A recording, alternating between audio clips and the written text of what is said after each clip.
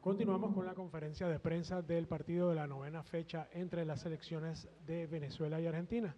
Nos acompaña por Venezuela el capitán de la selección, Tomás Rincón. Muchísimas gracias por estar con nosotros el día de hoy.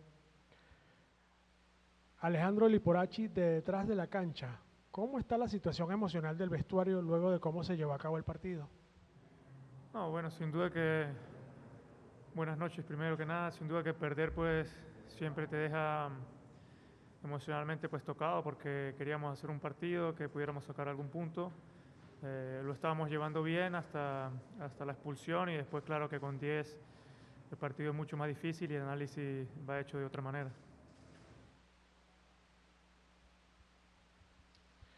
Agustín Palacios de La Voz del Gol. ¿Qué análisis haces del partido y qué le faltó para poder llevarse algo de este encuentro? No, como lo he dicho, creo que hasta antes de la expulsión lo estábamos llevando bien. Ellos habían tenido un par de ocasiones, pero nosotros estábamos teniendo, estábamos llevando el partido bien. Por fuera, con jugadores rápidos, le, estábamos creando algo de, peligro. Estábamos, estábamos bien en el campo. Creo que es una pena porque eh, queríamos llevarnos algún punto. Eh, después con 10, claro que con Argentina eh, es mucho más difícil. Isaac Díaz de Chaborreo Sports. Esta dura derrota en casa ubica a la selección en la última posición de la tabla. Usted como uno de los líderes de esta selección, ¿cómo manejará el plantel las sensaciones negativas de hoy para los partidos ante Perú y Paraguay? aquí nadie va a tirar la toalla, aquí estamos firmes, eh, vamos a pelear cada partido. Eh, ahora a recuperar para ir a Lima a tratar de, llevarnos algún punto de Lima y, lo mismo con Asunción. Eh, el equipo lo había visto bien, es una pena que, que este haya sido el resultado hoy, pero Em, nos vamos a recuperar y vamos a pelear hasta, hasta el último partido. La pregunta, la pregunta la hace Lautaro Susla de Radio Brava Argentina. ¿Considera que la selección sintió el quiebre luego de la tarjeta roja y no pudo reponerse? Sí, creo que al final eh, lo estábamos llevando bien, pero con uno, con uno menos es difícil a, cualquier nivel y más ante una selección como Argentina que tiene tantas individualidades y te van creando superioridad numérica hasta que te desgastas y, y después te, te crean ocasiones.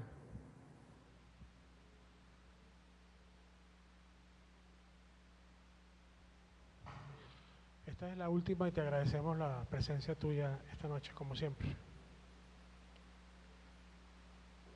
¿Sientes que el domingo es el último tren para montarse en la ruta mundialista, a sabiendas que son los dos colistas los que se enfrentarán? Esta pregunta la hace Pablo Rondón de Más Allá del Gol.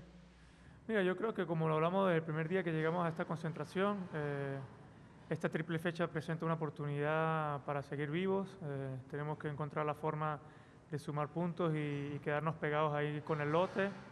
Sin duda que enfrentaremos dos rivales difíciles, pero lo plantearemos bien y, trataremos de ir a conseguir resultados. Muchísimas gracias por estar con nosotros. Era Tomás. Listo.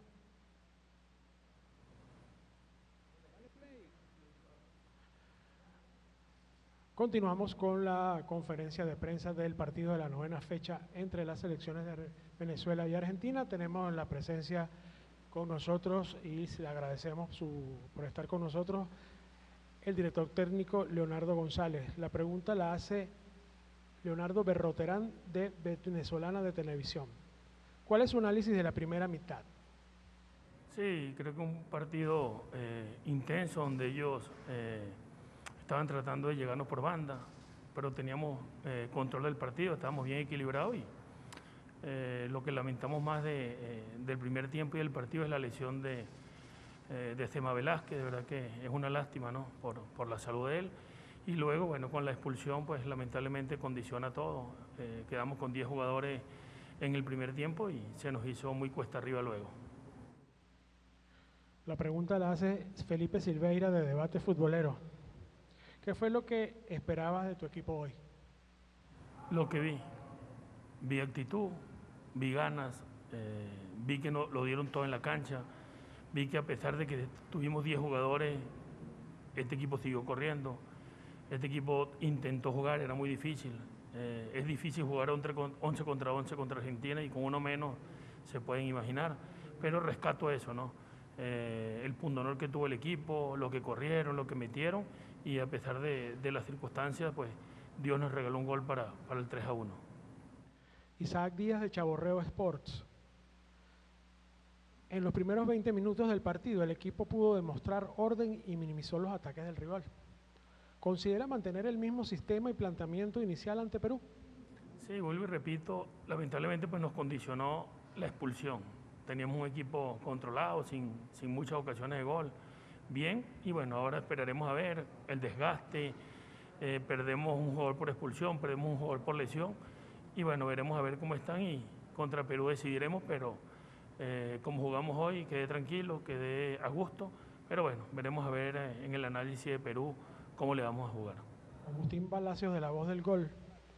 ¿Qué análisis hace del partido y qué es lo positivo que rescata a pesar del resultado de cara a lo que viene? Sí, en realidad es lo que les dije, ¿no? Lo positivo, eh, la actitud que tuvo el equipo hoy, que no dio pelota por perdida, que a pesar de tener 10 jugadores siguieron eh, corriendo, eso para mí no tiene precio, se lo dijimos antes. La actitud, la intensidad, las ganas, eh, el sacrificio no lo negociamos y hoy con 10 corrimos hasta el último minuto.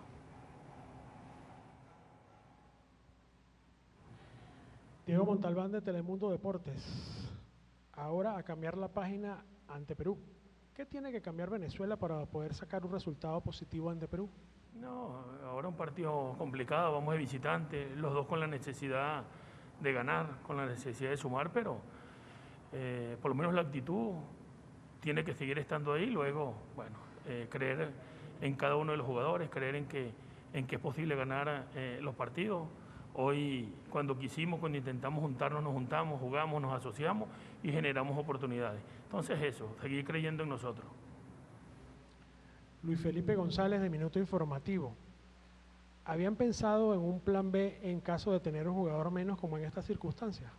No, muy difícil. Apenas yo tengo dos días trabajando con la selección.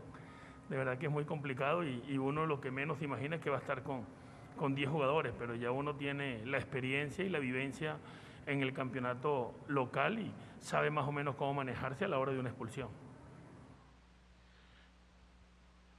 Con esta finalizamos la conferencia de prensa agradeciendo su tiempo y su presencia como siempre. Pasión deportiva.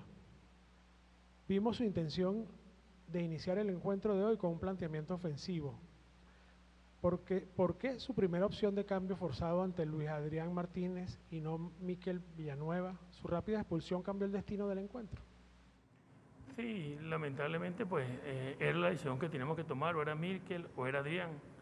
Para los que no saben, Adrián tuvo una Copa América espectacular, excelente, y aquí en el campeonato local viene haciendo las cosas muy bien, no quiere decir que Miquel no. Son decisiones que nosotros tomamos como entrenador eh, pero creo que no nos equivocamos, ese era, ese era el cambio para nosotros, lamentablemente pues condicionó que, que, salió expulsado y hoy el que debe estar más triste y más incómodo es él. Entonces, bueno, apoyo total porque son cosas, de, cosas que pasan en el fútbol que hay que, que hay que tratar de mejorar. Muchísimas gracias por su presencia esta noche. Con esto concluimos la rueda de prensa del partido.